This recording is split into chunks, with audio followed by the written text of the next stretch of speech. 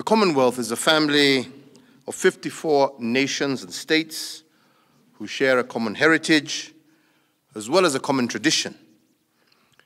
It is a family that is forged by shared fundamental principles and values by which we define the future that we seek together. Kenya believes that the Commonwealth remains a primary actor for responding to the current challenges facing its member states and for building a common future.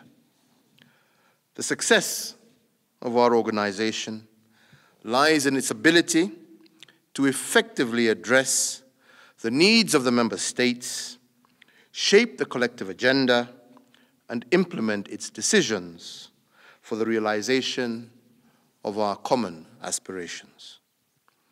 All these require steadfast leadership at the Secretariat to deliver a dynamic and influential Commonwealth. Against this backdrop, Kenya has taken the decision to nominate Ambassador Dr. Monica Juma to be the seventh Secretary General to the Commonwealth.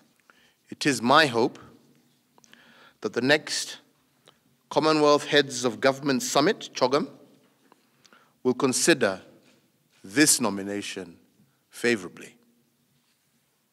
Ambassador Dr. Monica Juma is Kenya's Cabinet Secretary for Defense, who formerly served in the same capacity in the Foreign Affairs docket. Also as Principal Secretary, she has served across the security departments of government, namely Defense, Interior, and the coordination of national government, and also foreign affairs. Her exemplary service as one of Kenya's top diplomats establishes Ambassador Dr. Juma as a diplomat par excellence.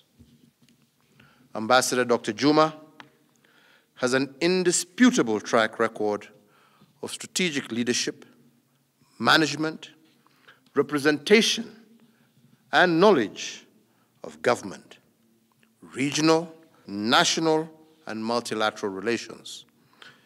She is also well skilled in international development, security, and also humanitarian issues. And she is an exemplar of what we in the Commonwealth hold.